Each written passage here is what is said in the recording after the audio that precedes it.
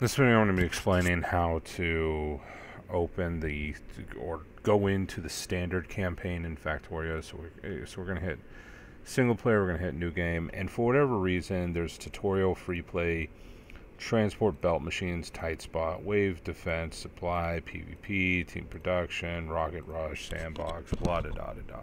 There's a whole bunch of scenarios, right? So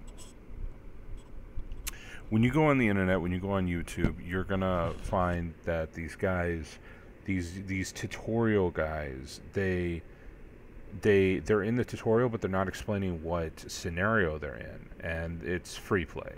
That's the standard campaign.